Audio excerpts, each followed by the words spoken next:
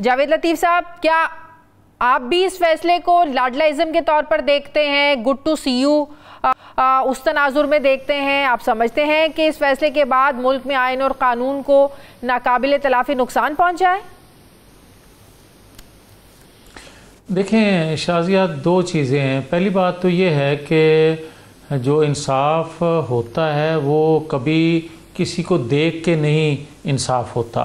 बल्कि इंसाफ आइन कानून के मुताबिक होता है।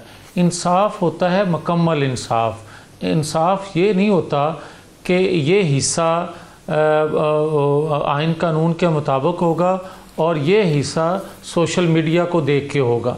ये इस तरह के फ़ैसलों से और आज का जो फ़ैसला है, देखिए इससे पाकिस्तान के अंदर हजानी कैफियत में इजाफ़ा हुआ। है इससे सियासी अदम इसकाम बढ़ा है और इसकी वजह वजह दो हैं देखें अगर 8 फरवरी के इंतबात को देखा जाए ये बात मैं सुबह से कह रहा हूँ हम्म। कि उस वक्त ये कानून था और आज तक मौजूद है कि तीन दिन के अंदर अंदर आज़ाद मेंबर जो हैं वो किसी जमात को ज्वाइन करना उनकी उन पर लाजम है।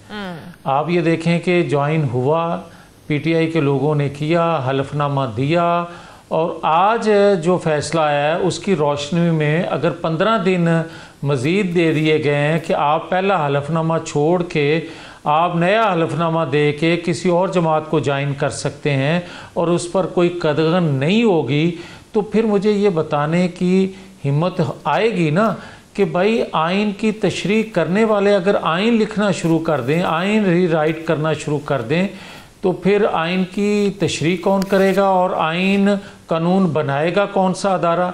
फिर क्या मैं ये पूछने में हक बजानम नहीं हूँगा कि नवाज़ शरीफ को बासठ तिरसठ पे हटाया गया था? कोई पनामा में नहीं हटाया गया था? ये कह के हटाया गया था कि आपने अपने बेटे से तनख्वाह जो ली वो शो नहीं की।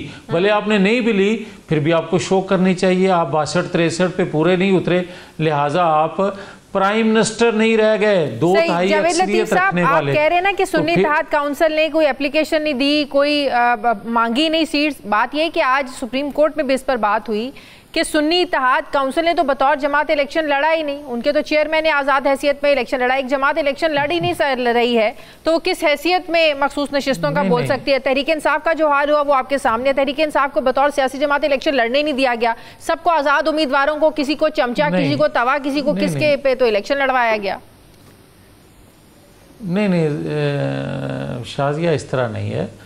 सुप्रीम कोर्ट के फैसले की हेयरिंग भी आप सुन लें और फैसले को भी देख लें। हाँ। जब एक सुन्नी इतिहाद कौंसल ने इलेक्शन ही नहीं लड़ा तो दरख्वास्त तो उनकी है पटिशन तो उनकी है और फिर जिनकी पटिशन नहीं है आप उनके हक में फ़ैसला दे रहे हैं। चलें इससे आगे चलते हैं।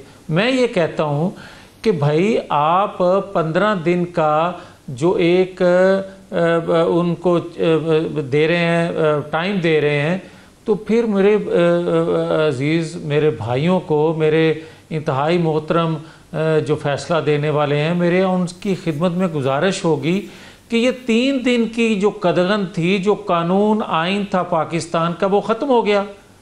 और अगर ख़त्म हो गया तो फिर तो ठीक है। फिर आइन कानून बनाने वाले तो तशरी करने वाले हुए ना। आज आइन री राइट हुआ ना।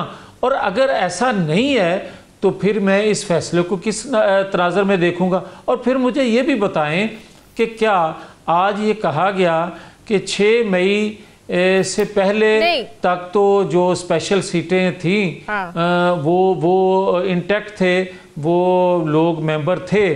6 मई के बाद नहीं मेंबर है। क्या आप फिर सदारती सदारती इलेक्शन को या सेनेट के इलेक्शन को आप तहफ़ दे रहे हैं? ये गैर आईनी नहीं है। आज सुप्रीम कोर्ट ने मियाँ साहब ये भी बात की कि इलेक्शन कमीशन कैसे किसी को आ, उसके नाम नाम से महरूम कर सकता है। निशान लेने का मतलब ये नहीं है कि तहरीक इंसाफ के जो लोग हैं अपनी जमात के नाम पर इलेक्शन ही नहीं लड़ सकते। तो अगर तहरीक इंसाफ के पार्टी इलेक्शन कमीशन भी कहता है कि तहरीक इंसाफ बतौर पार्टी तो हमारे पास रजिस्टर्ड है तो अगर पार्टी बतौर Tehreek Insaf election commission registered है तो आप लोग क्यों इस बात को समझने से कासिर हैं कि मखसूस नशस्तों का हक तहरीक इंसाफ का ही था।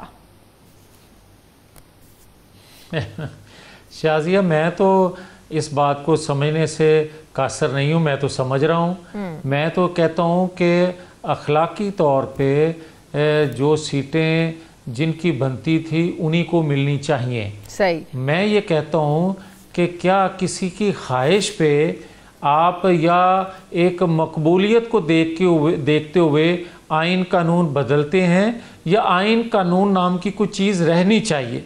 क्या आइन कानून आपको इजाज़त देता है जो आप डिमांड कर रहे हैं? और फिर क्या आइन कानून आप पे कदगन लगाता नहीं है कि आप अपने इलेक्शन किस तरह करवाएँगे? किसकी ख्वाहिश पर फैसले हो रहे हैं? जी। किसकी ख्वाहिश पे फैसले हो रहे हैं? आप जिस तरह खुद कह रही हैं कि आप आ, किस तरह रोक सकती हैं रोक सकते हैं कि किसी की जमात को स्पेशल सीटें देने से तो किसकी ख्वाहिश है? ज़ाहिर है पीटीआई की ख्वाहिश है कि हमें सीटें मिलनी चाहिए मगर आइन कानून रुकावट ना बने।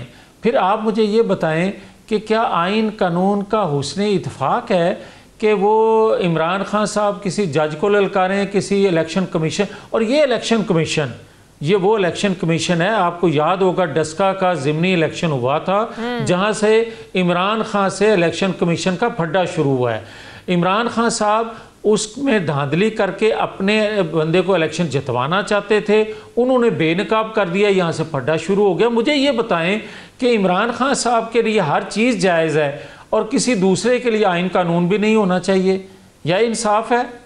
यह ऐसा इंसाफ आप चाहते हैं? तो आप ये जो कह रहे हैं कि तहफ़ दिया गया है सदर के इलेक्शन को सेनेट के इलेक्शन को इसमें फ़ायदा तो आप लोगों का है। तो फिर आप लोग इसको जाके चैलेंज कर दें। भाई भाई मुझे ये बताएँ कि मैं चैलेंज ही करता जाऊँ और आप इंसाफ ना करें ये कैसा मज़ाक है कि मतलब आपको नज़र नहीं आ रहा फैसला तो आप दे रहे हैं। फैसला आप करने वाले हैं और आज खुद नोटिस भी आप लेने वाले हैं। अपील लेके कोई और गया है फैसला किसी और के हक में आप दे रहे हैं जो पूरे अफसाने में जिसका ज़िक्र ही नहीं था।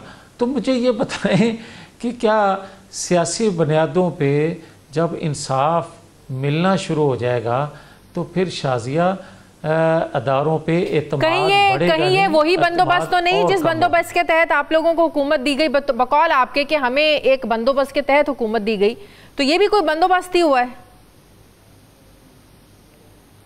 नहीं मैं ये नहीं कह सकता बगैर सबूत के तो मैं कभी बात करता नहीं हूँ मगर मैं जो अंदेशा है जो पूरी कौम कह रही है जो कानून दान कह रहे हैं मैं तो वो बात कर रहा हूँ। मैं तो सीधी सीधी बात करता हूँ कि अगर 6 मई से पहले वो एलिजिबल थे वोट कास्ट कर सकते थे वो मेंबर भी थे तो 6 मई के बाद ख़त्म हुए हैं। तो 6 मई से पहले जो उनका एक्ट था एक हम्म। सदर का इलेक्शन एक बड़ा इलेक्शन है एक चीफ एग्जेक्टिव का इलेक्शन है सेनेट का इलेक्शन चेयरमैन का है।